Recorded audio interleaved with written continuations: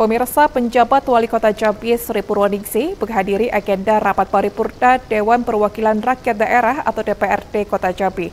Ranperda yang akan dijadikan perda Kota Jambi dan penandatanganan nota kesepahaman. Penjabat Wali Kota Jambi Sri Purwaningsi menghadiri agenda rapat paripurna Dewan Perwakilan Rakyat Daerah atau DPRD Kota Jambi, Selasa 23 Juli 2024.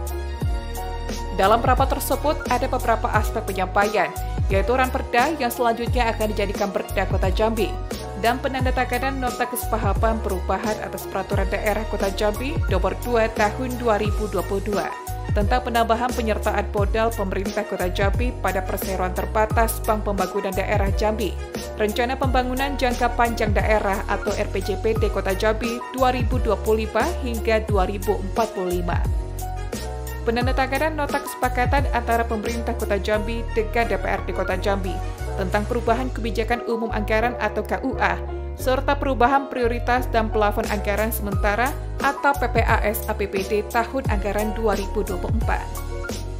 Pada siang sampai sore hari ini, kita menyelenggarakan menghadiri rapat paripurna dalam rangka menyelesaikan tentang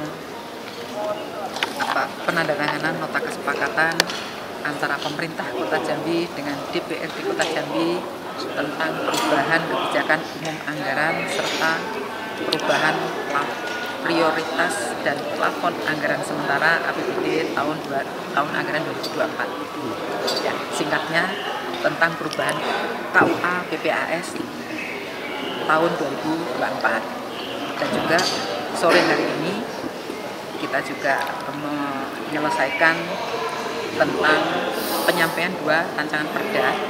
Yang pertama tentang perda tentang perubahan atas peraturan daerah Kota Jambi nomor 2 tahun 2022 tentang penambahan penyertaan modal pemerintah Kota Jambi pada perseroan terbatas BPD Jambi dan rancangan pembangunan jangka panjang daerah Kota Jambi tahun 2025-2045 serta yang terakhir tadi penyampaian tentang rancangan perda tentang pertanian dan ketahanan pangan.